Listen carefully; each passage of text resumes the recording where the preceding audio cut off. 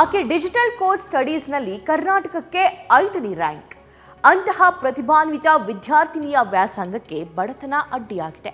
ಕುಟುಂಬದ ಆರ್ಥಿಕ ಸಮಸ್ಯೆ ಕಂಡ ಆ ಪ್ರತಿಭಾನ್ವಿತೆ ತನ್ನ ವ್ಯಾಸಂಗವನ್ನೇ ಅರ್ಧಕ್ಕೆ ಮೊಟಕುಗೊಳಿಸಿ ಕುಟುಂಬ ನಿರ್ವಹಣೆಗಾಗಿ ತಂದೆಗೆ ಹೆಗಲು ನೀಡಿದ್ದಾಳೆ.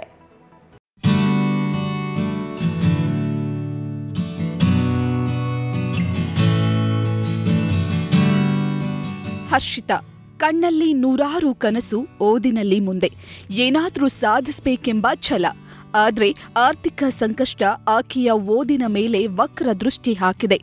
ಓದನ್ನೇ ನಿಲ್ಲಿಸುವಂತೆ ಮಾಡಿದೆ.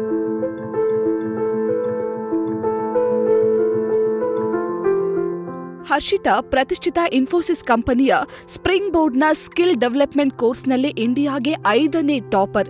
ಆದ್ರೆ ಈಕೆ ತಾನು ವ್ಯಾಸಂಗ ಮಾಡ್ತಿರುವ ಕಾಲೇಜಿನಲ್ಲಿ ಡ್ರಾಪ್ ಔಟ್ ಸ್ಟೂಡೆಂಟ್. ಕಾರಣ ಕುಟುಂಬದಲ್ಲಿನ ಆರ್ಥಿಕ ಸಂಕಷ್ಟ.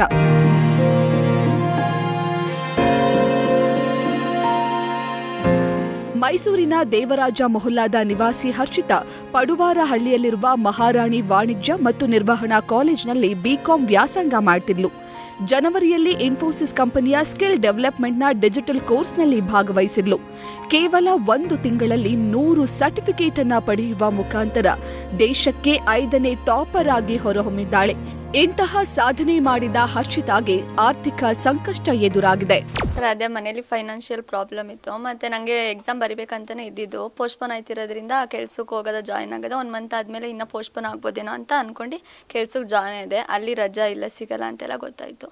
ಅದಕ್ಕೇ ಬ್ರೇಕ್ ಮಾಡಿಬಿಟ್ಟೆ ಸರ್. ಸರ್, ಅದೇ ಇದೊಂದು ಇಯರ್ ಫಸ್ಟು ಈಗ ನಾನು ಡಿಸೈಡ್ ಮಾಡಿದ್ದೀನಿ, ಓದಲ್ಲ, ಇನ್ನೊಂದು ಇಯರ್ ಅಂತ. ನೆಕ್ಸ್ಟ್ ಕಂಟಿನ್ಯೂ ನಾನೇ ಮಾಡ್ತೀನಿ ಸರ್. ಕುಟುಂಬದ ಸಾಲ ತಂದೆಯ ಅನಾರೋಗ್ಯ ಈಕೆಯ ವಿದ್ಯಾಭ್ಯಾಸ ಮೊಟಕುಗೊಳಿಸುವಂತೆ ಮಾಡಿದೆ. ಎಕ್ಸಾಮ್ ಕೂಡ ಅಟೆಂಡ್ ಮಾಡಲು ಸಾಧ್ಯವಾಗದೆ ಕುಟುಂಬದ ಜವಾಬ್ದಾರಿ ಹೊರುವ ಉದ್ದೇಶದಿಂದ ಖಾಸಗಿ ಸಂಸ್ಥೆಯಲ್ಲಿ ಕೆಲಸ ಮಾಡ್ತಿದ್ದಾಳೆ. ಕಾಲೇಜ್ನ ಆಡಳಿತ ಮಂಡಳಿ ಈಕೆಗೆ ವಿದ್ಯಾಭ್ಯಾಸ ಮುಂದುವರಿಸುವಂತೆ ಮನವಿ ಮಾಡಿದೆ. ಮತ್ತೆ ಬಹಳ ಮುಖ್ಯವಾಗಿ ಆಕೆ ಸ್ಕಿಲ್ಸ್ಗೆ ಕಲ್ತ್ಕೊಳ್ಳೋಕೆ ತುಂಬ ಆಸಕ್ತಿ ಇದೆ. ಸೊ ಅದರಿಂದ ಮುಂದೆ ದೊಡ್ಡ ದೊಡ್ಡ ಬಹುರಾಷ್ಟ್ರೀಯ ಕಂಪ್ನಿಗಳಲ್ಲಿ ಕೆಲಸ ತಗೊಳ್ಳೋಕೆ ಬಹಳ ಅನುಕೂಲ ಆಗುತ್ತೆ. ಯಾವುದೇ ಬಡತನ ಕಾರಣಕ್ಕಾಗಲಿ ಇನ್ಯಾವುದೇ ಕೌಟುಂಬಿಕ ಕಾರಣಗಳಿಗಾಗಲಿ ಆರ್ಥಿಕ ಕಾರಣಗಳಿಗಾಗಲಿ ಯಾವ ವಿದ್ಯಾರ್ಥಿ ಯುವಕ ಆಗಲಿ ಯುವತಿ ಆಗಲಿ ಉನ್ನತ ಶಿಕ್ಷಣದಿಂದ ವಂಚಿತರಾಗಬಾರ್ದು.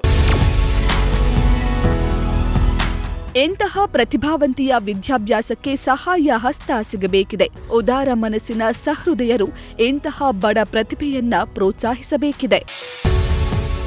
Hebbaka Thimmegowda news first Mysuru news first ಪ್ರತಿಕ್ಷಣ. ನಿಮ್ಮೊಂದಿಗೆ